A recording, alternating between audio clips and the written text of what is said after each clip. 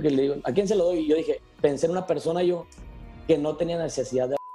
Ya han pasado 14 años desde que lamentablemente la vida de Valentín Elizalde fue arrebatada por unos hombres. Ahora, a través de una entrevista a su hermano Francisco, reveló que mientras estaban celebrando la despedida de su hermano en su rancho de Sonora, unas personas entraron a su casa en Guadalajara y se llevaron algunas pertenencias.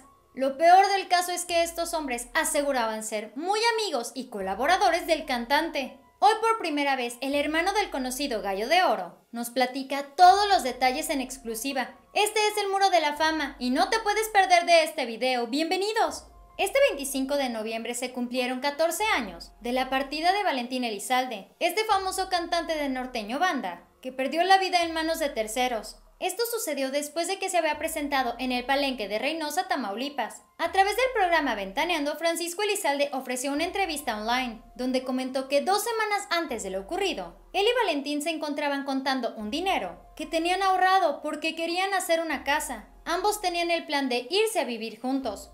La cantidad final resultó en la módica cantidad de 6 millones de pesos y casi 500 mil dólares, todo en efectivo. Lamentablemente esta meta no se pudo cumplir, ya que después de su presentación en Tamaulipas, la vida de Valentín Elizalde fue arrebatada por unos hombres que los tomaron por sorpresa. Él tenía dos trabajadores ahí que le decían los enanos, que eran muy, muy uña y mugre de tan.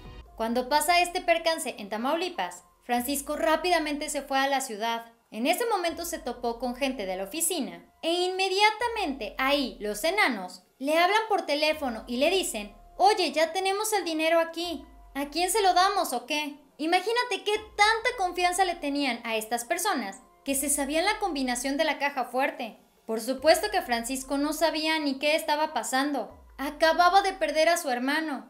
Así que les dijo que en primera, ¿para qué habían sacado ese dinero? Fue en ese momento que pensó en una persona, pero que en realidad él no tenía la necesidad de tomar ese dinero. Lo pensó muy inocentemente, pero algo que de plano nadie se esperaba y más porque estaban en ese momento despidiendo a Valentín, es que algo más estaba sucediendo. Y justamente cuando estamos velando a Vale, eh, nos dicen que una televisión, una tejana, fue lo único que se Esto generó demasiadas, demasiadas dudas, porque a ver, ya estando adentro de la casa, ya hiciste la malora, ¿por qué solamente se llevarían una televisión y una tejana? Pudiéndose llevar muchísimas cosas de más valor y en más cantidad. Realmente si alguien lo está haciendo por necesidad, claro que hubiera aprovechado el momento. Por supuesto que esta es una acción que ninguno de nosotros debemos de aceptar. Es totalmente reprobable. Pero a Francisco esto se le hizo sumamente raro, al igual que a toda la familia. En plena despedida de Valentín se lo informan a Francisco, y ellos ya mandaron a alguien a que cerrara bien la casa.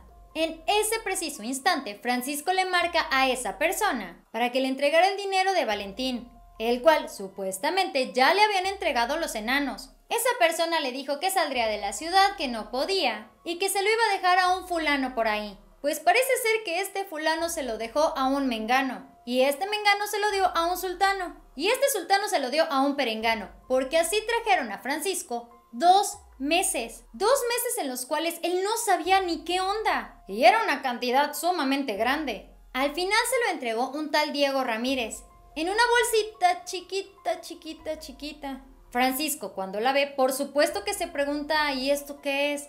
En la bolsa únicamente habían 200 mil pesos. Él, por supuesto, desde un inicio sabía cuánto era la cantidad exacta. Él lo había contado junto con Valentín días antes. Pero él, haciéndose el inteligente, le pregunta a esta persona, ¿esto es nada más? Haciéndose como el que no sabía realmente cuánto había ahí adentro. Cínicamente le dijeron que sí, que solamente ese dinero era el que le habían entregado.